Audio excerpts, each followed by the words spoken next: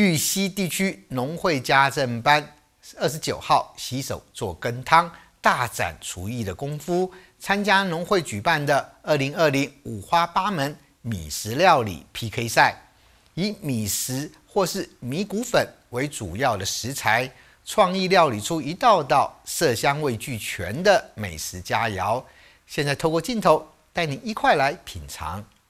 玉溪地区农会总干事蔡宗汉、理事长陈文光、常务监事陈景竹以及镇长蔡秋龙共同推开竞赛大门。二零二零就爱玉里米五花八门米食与在地食材创意料理竞赛正式开始。家政班姐妹们在推广中心大展厨艺功夫，姐妹互相交流一些手艺，呃，大家能够学到更有挑战性的这些呃手艺。救救救！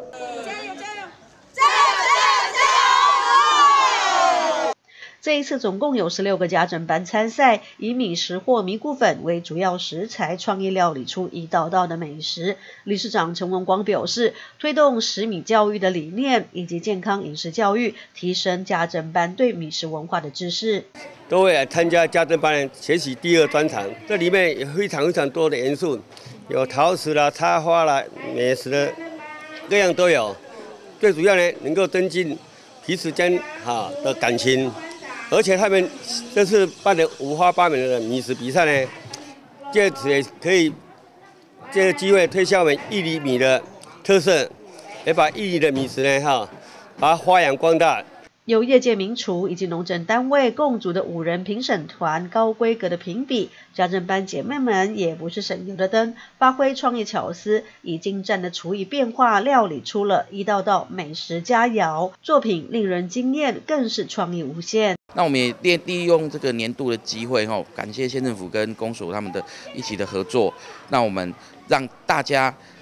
在这个时候。展现他们的学习的一些手艺啦，然啊，互相也有看一下说哪个家政班有他的有不不一样的创想跟发想这样子，所以我们有主要比赛项目有两一个是一个是米食的竞赛，一个是米谷粉的。竞赛这样子，激烈的米食创意料理 PK 赛，优胜的前三名农会依序颁发冠军两万元，亚军一万五千元，季军一万元，佳作五名颁发五千元，以及六名的优良奖颁发三千元。总干事蔡宗汉肯定也感谢家政班姐妹们的支持，也希望借此创造更具玉溪特色的米食料理，提升玉里米的知名度。记者石玉兰玉里采访报道。